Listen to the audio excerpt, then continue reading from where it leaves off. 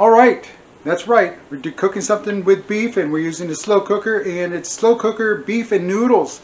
Yeah, slow cooker beef and noodles. I know it's going to sound a little done, but hey, it's slow cooker beef and noodles. We're going to dump everything here. There's no pre-searing, no pre-scoring or pre-cooking of the meat. We're just going to put the beef in there.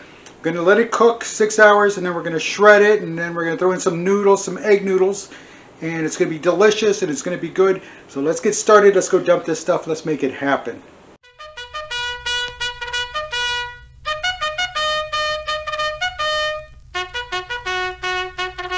All right, here we are at, whoa, sorry about that. Here we are at the crock pot. There it is. We're using the big one. And again, we're going to dive in with the with the big liners here. Oh, that's what I was afraid of. We're using a different brand of liners and I'm not too keen on it. It's a little small. They're a little small. It does say, the package does say that it does fit. So folks, be careful when you're trying out different ones, especially with meals, um, because the last thing you want is for this to fall in and then, you know, it defeats the purpose of having it. So be careful, check your sizes, work with it. It might cost you, but it's a lesson learned, and that's a good thing. As long as you learn from it, don't keep repeatedly buying the same smaller ones, or the ones that are just a bit too small. I mean, yeah, it's fine, it fits, but as we work with it, we don't want it to fall in. All right, so what's the first thing we need to do? It says to throw in the beef. So let's get the beef. So here we go. Here's our pounds and pounds of beef. Uh, go. Put that in there, nice and neat. See what I was talking about? It's already starting to move up.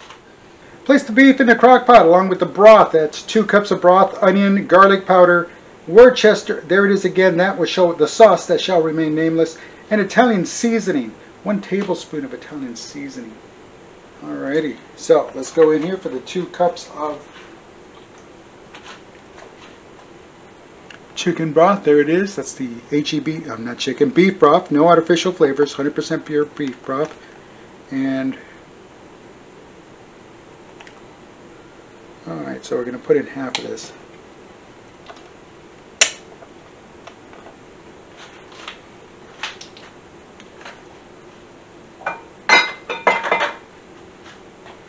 Alright, let's go ahead and get this poured out. Two cups. Hey, look at it, I got it right the first time.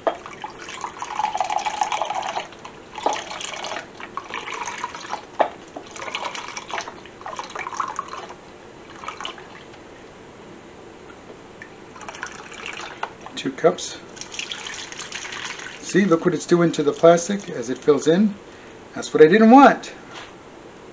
So again, just saying, be careful. You'll learn your lesson as you go along. That's part of cooking. Lessons learned is part of cooking, so make sure you learn from them, not just repeat them.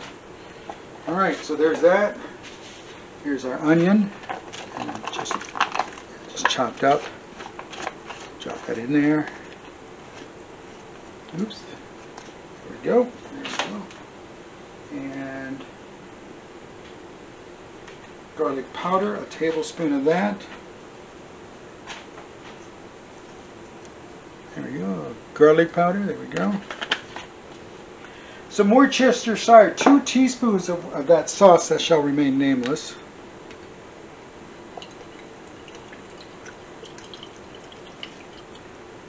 There we go. About two teaspoons, give or take a teaspoon. And one tablespoon of Italian seasoning. That's parsley.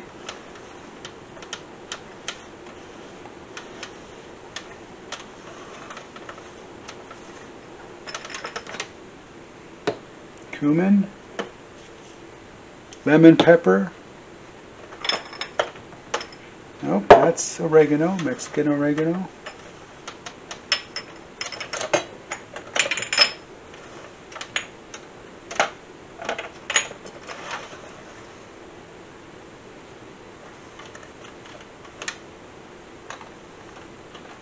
Yeah, found it.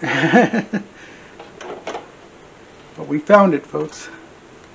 Alright, there it is, Italian seasoning. Finally found it, sorry about that. And uh, so what are we looking at? One tablespoon of that. So.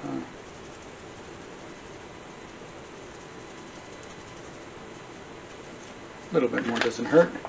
All right, that's it. So Worcestershire onion broth. That's it. So we're going to go ahead, put the lid on it.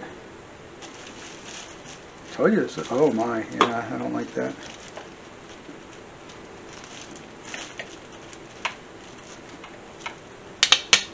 We go. And low for six to seven hours. Low.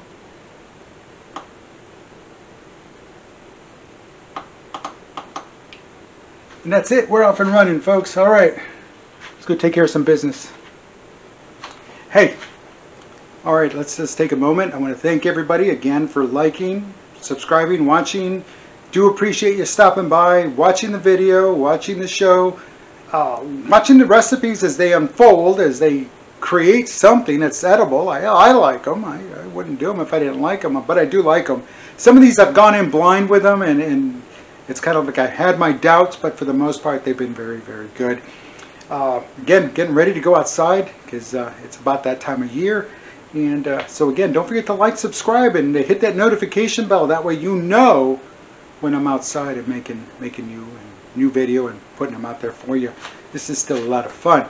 Alrighty, so um, again, thank you very much. All right, for those of you veterans, you know who you are, and you find yourself in that dark place. That we've all been there. All of us have been there. And uh, again, no one's immune. It could happen at any point. Any little thing can do it. it. There's no specifics, and that, that's that's the downside. Because if we could figure that out, we'd figure everything out, right?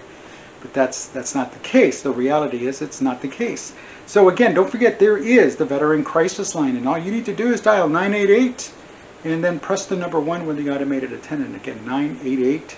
Press when the automated attendant. You know what? It's going to be over. It's going to be over here this time. There we go. It's going to be on that side of the screen. All right, and with that being said, again, don't forget, make the call. That's there. They're there for you. They're there for you. And again, you don't have to be a veteran. This is for everybody.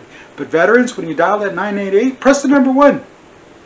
That's it. They'll take care of you from there. Again, you can also chat online. Visit the Veterans Crisis Line on the, on the web and chat online with them.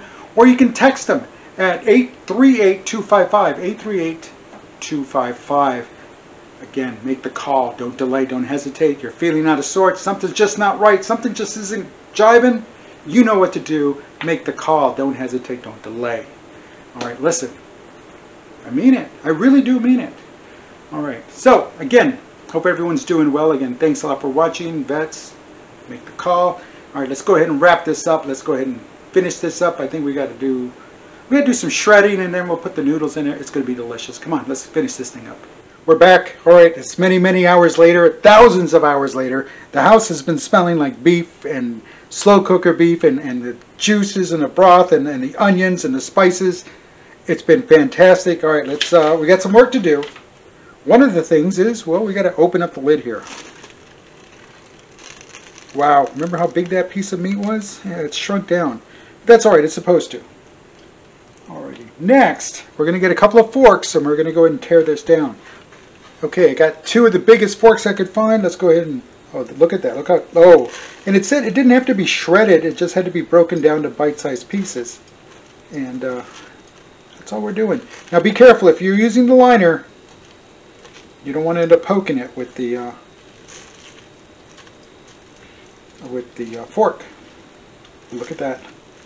Would you look at that? Oh, look at that. Look at, look, it's Oh my, and look at that, it's releasing other, it changed the, uh, the color of the liquid.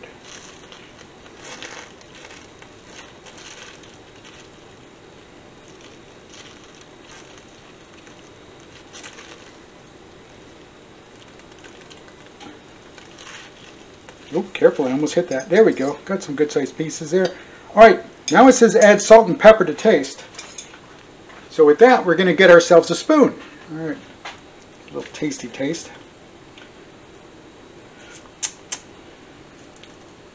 Yeah, I can see I can see why they say that. Oh, it's it's very flavorful.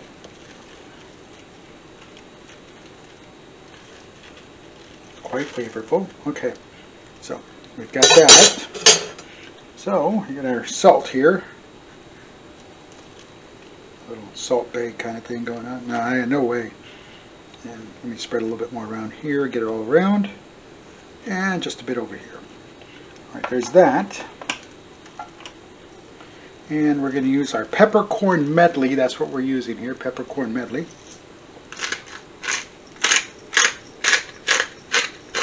Because folks, if you can crack corn like Jimmy can, I don't care. Those of you that know, know. Alrighty. There we go, a little pepper all over. We're going to give it a little stirry stir. That's a lot of pepper. That's alright, we should be doing good. Ooh, that does smell great.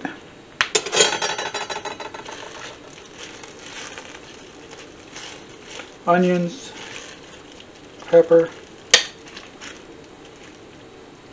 Alright, now, the last thing it says to do, well it's not the last thing, it's kind of next to last.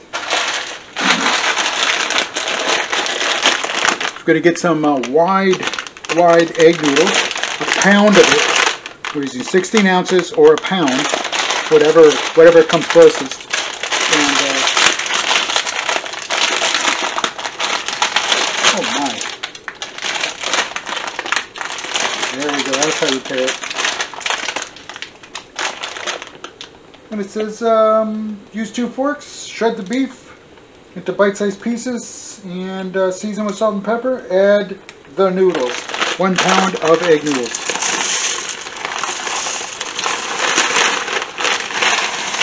There we go, yeah. Any given Sunday, folks, any given Sunday. Uh, cover and set the crock pot to cook for another 10 to 20 minutes until al dente. I don't know who al dente is. If you know who he is, give him, tell him to give me a call because they're talking about him. No, seriously, until al dente. So it's not going to be completely uh, floppy noodles. It'll have a little bite to it. Um, note the time will vary based on the noodle brand. Yes, so it will vary. But, you know, 10, 15, I'm going to give it 15 minutes and then come back and take a look at it. And it says to thicken the sauce, stir in cream or cornstarch slurry. Let it bubble for a few minutes until thick enough to coat the back of a spoon. Oh, you know what? That turns it into beef stroganoff. That turns it into beef stroganoff. And we're not making beef stroganoff. We're just making crock pot beef and noodles. So uh, let's give it a shot just without the, the slurry. Let me give this, uh, let me get all these noodles wet here. Yeah, you can tell they're already sucking up the uh, liquid. All right, it's covered up. Here we go. There it is, right there. That's it right there. So I followed the recipe. I, we ended up adding more of the um, of the broth because it was just the the noodles weren't making. They were not. They were too high up. The water was too down low. The liquid was too down low. We tried stirring it, but it still was keeping them, leaving them a little al dente. So we added the remainder of the uh, broth, the beef broth, and that took care of things.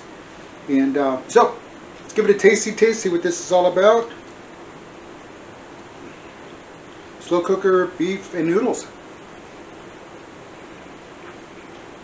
Mmm, mmm, very tender is the meat. Noodles are done. Salt and pepper to taste afterwards.